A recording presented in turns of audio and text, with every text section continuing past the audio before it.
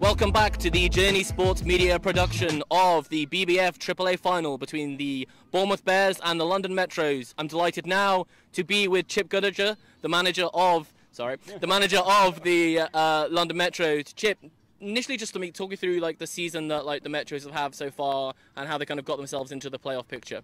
Okay. Well, uh, we've we split a lot of games this year. To be fair, we are better than 500.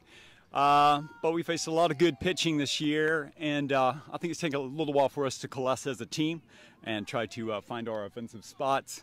Um, yeah, how we got here.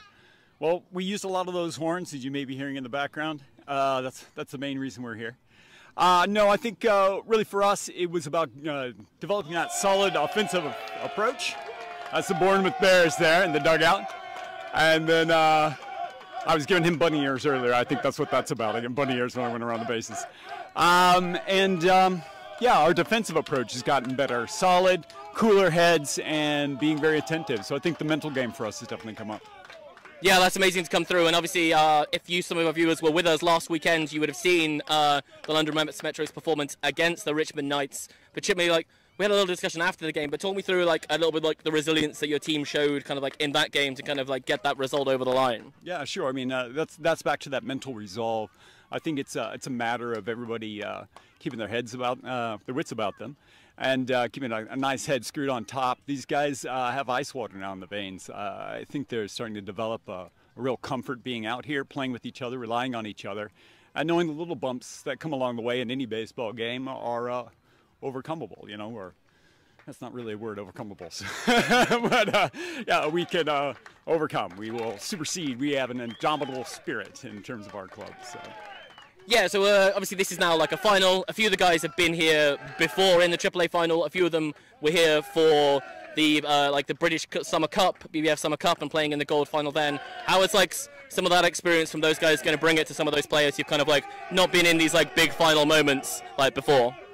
Um, yeah, it's a good question. But for us, I mean, it doesn't matter what the game is. The distances are the same. The bases are the same distance apart. We're still going to see a lot of the same pitching. So a lot of times it doesn't matter, in my opinion. It's more about how you handle the pressure. And as I said, I think these guys have shown that they can do that.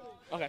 And just finally, like obviously, some people may be more or less familiar with the team that you you have, Chip. Do you want to mm. give us some names of like players to kind of like to really look out for, who you think are going to provide for you, like in those big spots?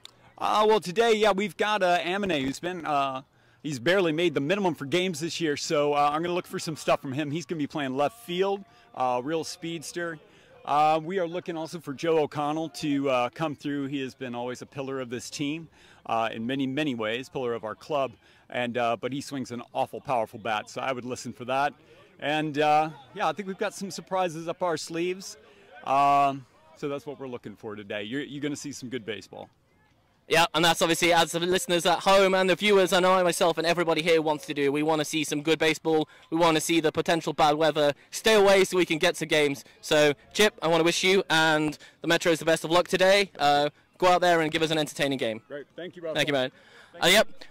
We'll be back to you shortly with some highlights of the game between the London Metros and the Richmond Knights.